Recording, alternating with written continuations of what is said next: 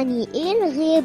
يعني إيه الفلك مين اللي خلق ربنا؟ هو ليه ربنا مش بيخلي الناس كلها تؤمن بيه بالعافية. هو سيدنا آدم السبب إننا عايشين في الأرض ليه مش في الجنة؟ بنقول كل هو الله احد هو ربنا خلقنا إيه الفرق بين النبي وربنا ساكن السنة الخمره حرام؟